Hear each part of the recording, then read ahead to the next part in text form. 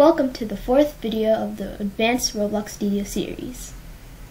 On the series, I teach about advanced things on Roblox Studio.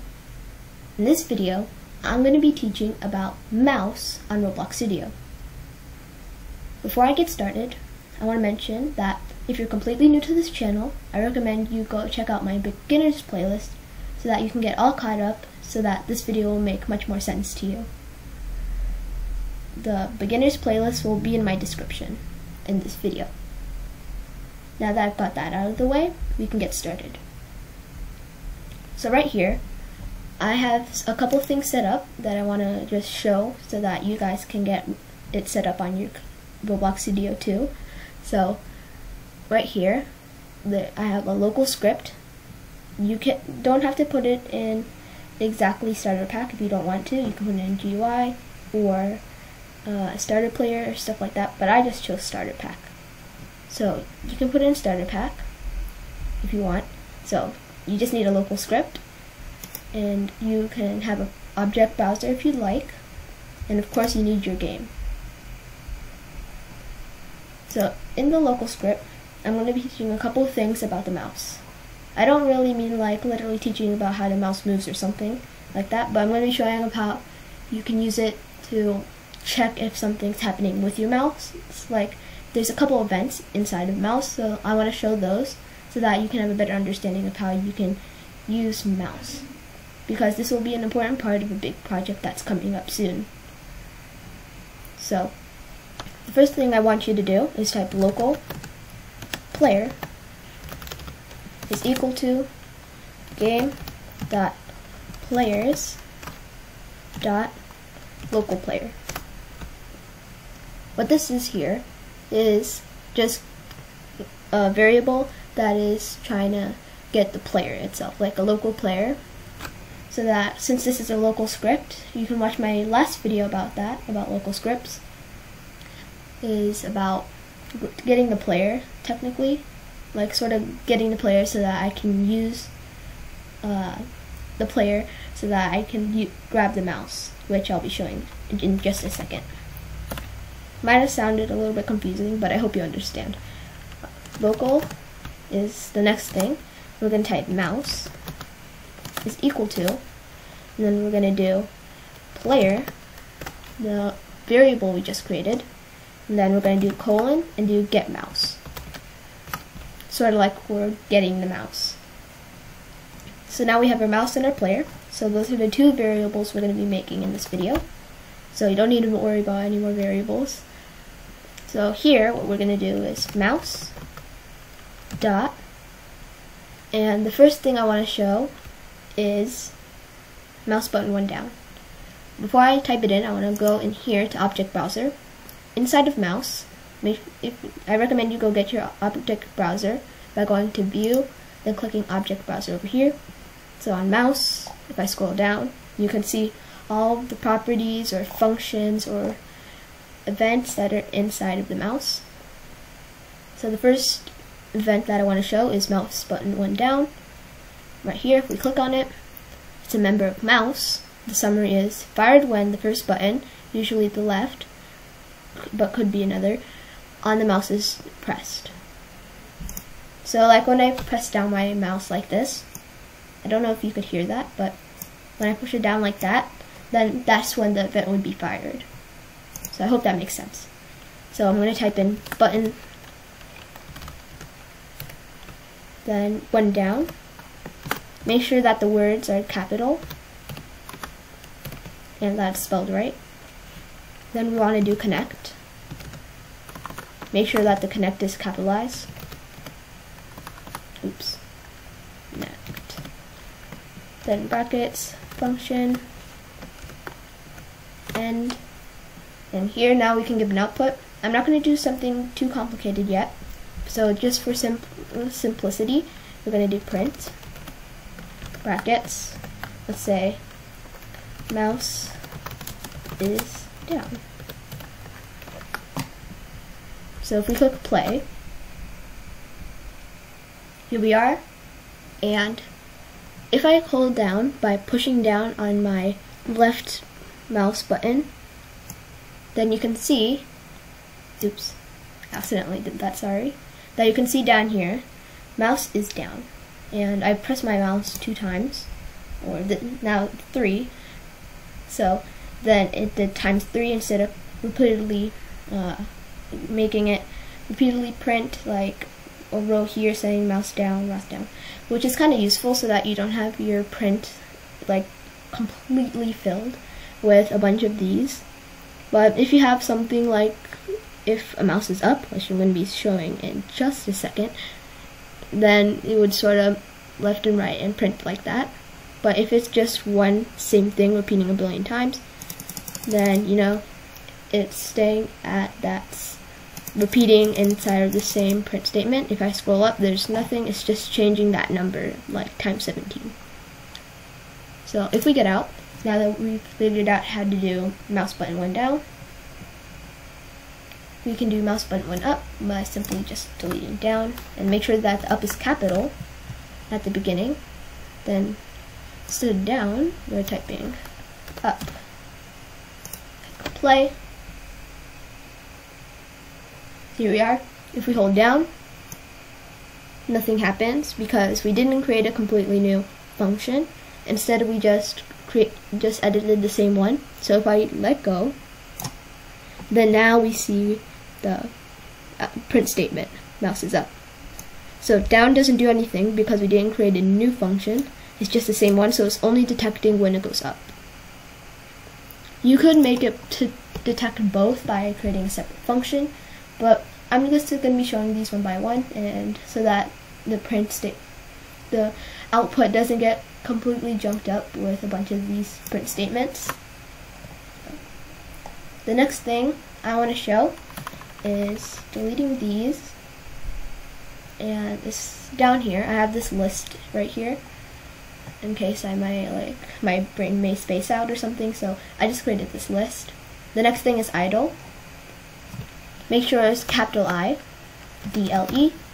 And then so what idle means. Is like if your mouse is not moving this could be useful for like AFK games. Well not AFK games but like for it to check if you're AFK for more cooler functions like checking if AFK and maybe mini games so that you don't go into the game when you're AFK like that. So that's what idle could be used for but it could be used for many other different reasons. So you can feel free to use it in any way you want.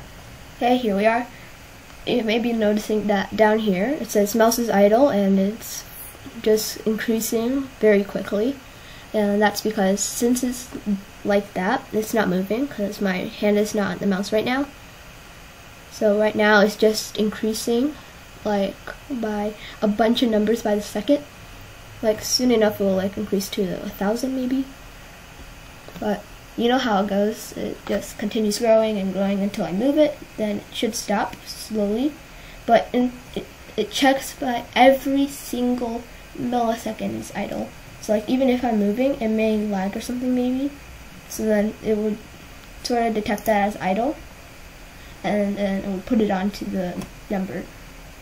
I'm gonna clear this since that's so many. So that's idle. Now we're gonna check the opposite of that, and that's move. So we're gonna do capital M.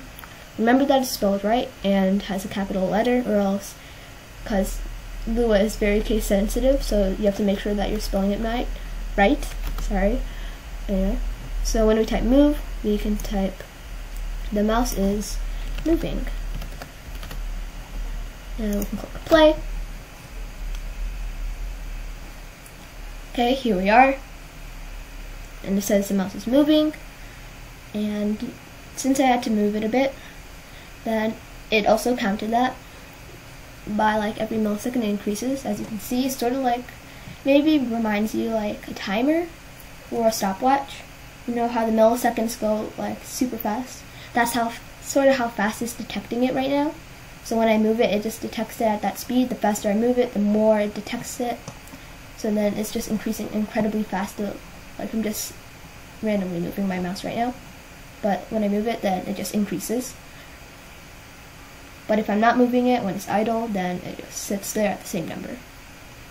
You may notice that when I'm doing this, the since it's increasing so fast, just as fast as a while loop would. And if you remember, if you've watched my while video, I recommend you go watch it, as well as my other ones if you're completely new.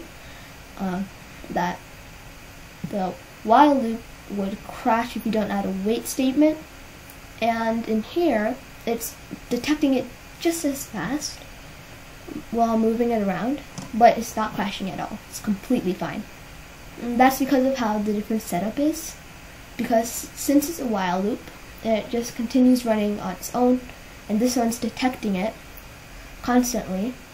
Well, it just checks it and then does it. Similar to a while loop, but the difference between it causes it to not crash, like how a while loop would, so then you don't need to add a wait statement in between it, unless you wanted to make something wait. So yeah, I just wanted to say that. But now we know mouse is moving, idle, button one down, button one up. And then I have three more I want to show, which is X, Y, and target. Let's start with X and Y. Up here, we don't really need to change this. We can keep it at move.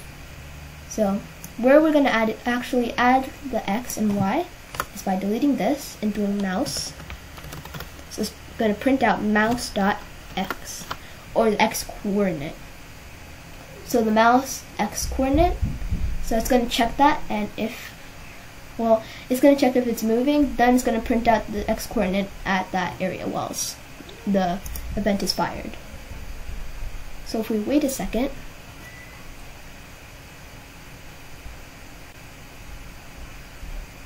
load in, if I move my mouse around, you can see since the number is constantly changing because the x coordinate isn't the same every time when I move it, then you can see it sort of just sort of rolling down at random numbers instead of just doing times 2 or times something like that.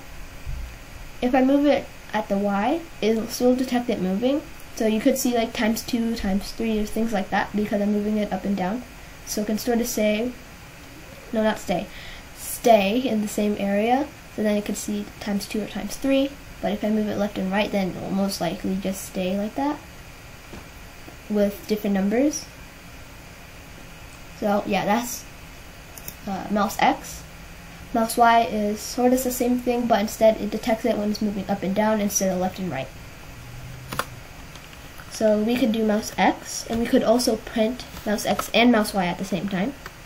If you watched my other videos, then I'm not exactly sure which video it was, but in that video, I shown of how you can connect uh, several pieces of text or strings together. So what we're going to do is do double dots. Then we're going to do quotation marks and do a dot so that I can do the x coordinate dot y coordinate. Right, and then we do another two dots. And then we type mouse dot y. So here when we click play,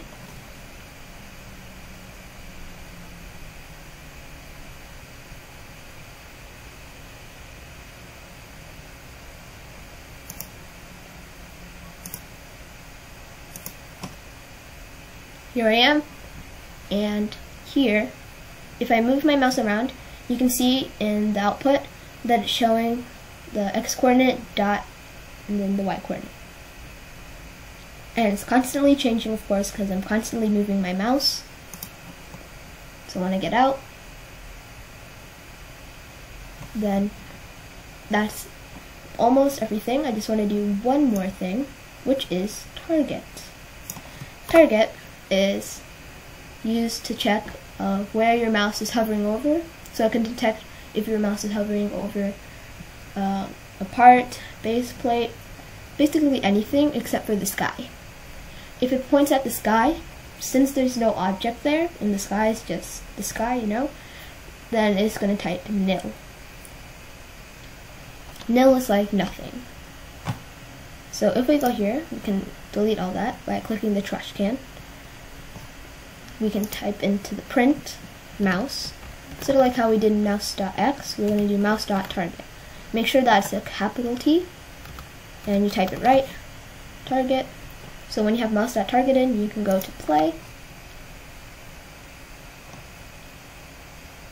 So when I'm in the game, I move my mouse a bit, and you can see in the output that it says base plate. So when I have over base plate, you can see it just constantly generating base plate. Not, sorry, I said that wrong. Base plate constantly. And if I go over on this part, it's named target in the Explorer, so then it prints out target. But if I go into the sky, then it just types nil. And it constantly says nil, as long as it's in the sky and moving. But if it's on the ground or the part, then it just generates target. And that's because in the sky, in the big blue sky, there's no actual object in the sky, it's just the sky itself, you know, because you can't actually touch anything in the sky by reaching your hand out. So then up here it just says nil because there's nothing for it to detect. So it replaces uh, that with the word nil because there's nothing up there for it to detect. So yeah, that's why it does that. So that is about it for today. But before I go, I want to say um, one thing. You may have noticed that there's a couple things in here that you want to learn, like maybe hit or icon. I don't really have the time to do it, but in my next video, I'm going to be teaching about the Roblox wiki and dev forums so that you have the ability to search up a couple things that I may not be able to show or I might not have time to show in my videos that you can learn from the wiki or dev forum or even from other YouTubers if you'd like to. So because of the time that I don't really have to completely go over like every single thing that is in mouse, you could go to the Roblox wiki and check it out, which I'll be making a video about of how to get there and stuff in my next one. So I hope you have an amazing day. I'll see you tomorrow in my next video to teach you about the Roblox wiki. Bye.